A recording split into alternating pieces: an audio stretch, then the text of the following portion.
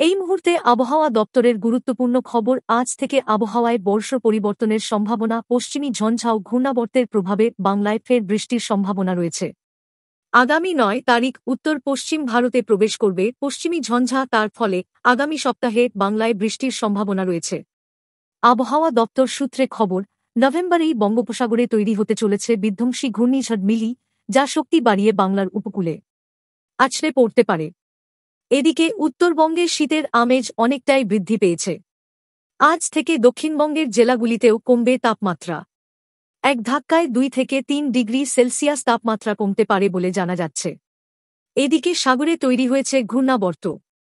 তার ফলে আবারও বিভিন্ন জেলায় বৃষ্টির সম্ভাবনা তৈরি হচ্ছে।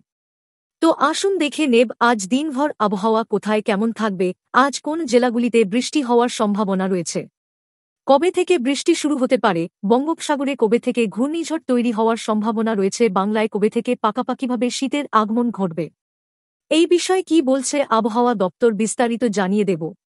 আজকের প্রতিবেদনে অবশ্যই ভিডিও শেষ পর্যন্ত দেখবেন। এই মুহূর্তে আপনি কোন জেলা থেকে দেখছেন?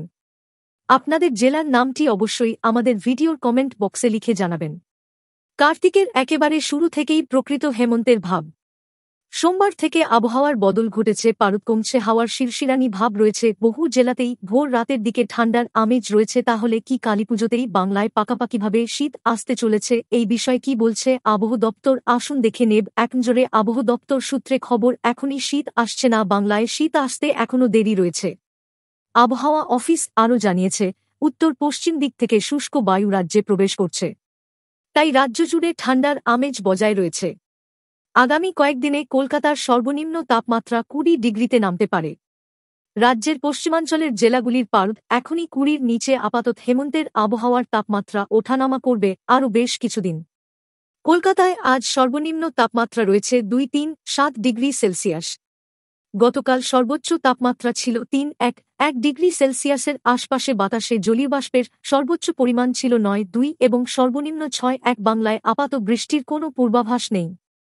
তবে ঘূর্ণাবর্তের জেরে বৃষ্টি হচ্ছে দক্ষিণের রাজ্যগুলিতে। বঙ্গোপসাগরে বা আমাদের রাজ্যের সংলগ্ন উত্তর বঙ্গোপসাগরে কোনো নিম্নচাপের সম্ভাবনা এই মুহূর্তে নেই।